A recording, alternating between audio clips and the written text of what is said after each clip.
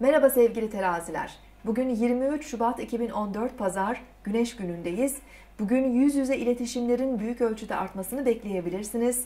Ilımlı, samimi ve nazik yaklaşımlarınız sayesinde puan toplayabilir, güçlü diyaloglar ve bağlantılar kurabilirsiniz. Burcunuzu dinlediniz.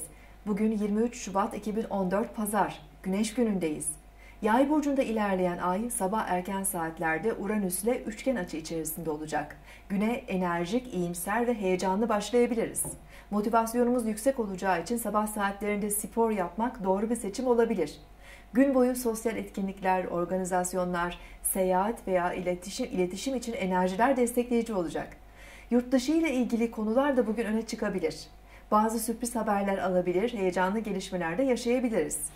Bugün Güneş ve Neptün balık burcunda birleşecek.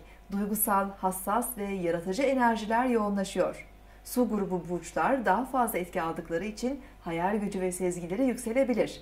Sanat, romantizm, manevi ve ruhsal çalışmalar, yardım faaliyetleri için bugünü değerlendirebiliriz. Yarın tekrar görüşmek üzere. Hoşçakalın.